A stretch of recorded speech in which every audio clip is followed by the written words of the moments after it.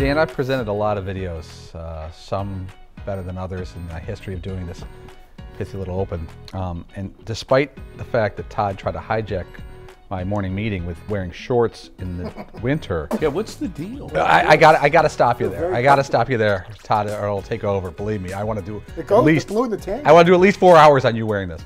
Um, We're Brian only on Kelly. three hours. Brian Kelly, the Notre Dame. Yeah, I know. Brian Kelly, the Notre Dame head coach.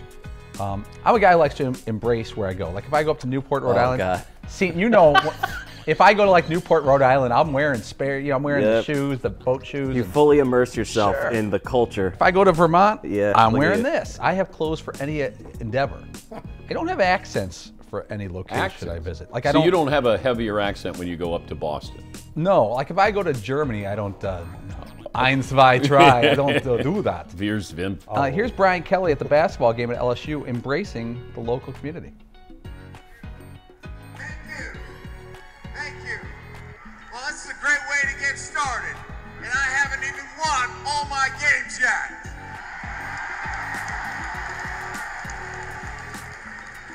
It's a great night to be a Tiger.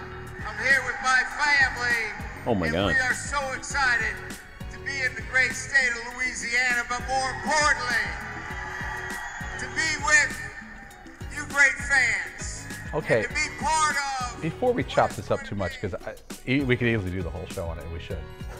Would you like to bring in Wright Thompson, the famous writer from the South, and maybe decipher what accent that is? Is it Louisiana? Is it Mississippi?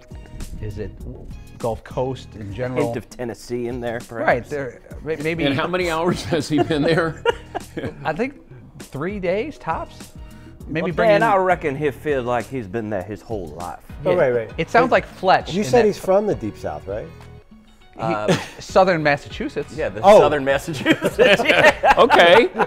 In southern Massachusetts, Andrew, He sounds like Fletch. refined gentlemen speak with a little bit of a tone. Remember the Fletch uh, movie where he inherits the, uh, and he's got the televangelist uh, played by Frank Ermy. Yeah.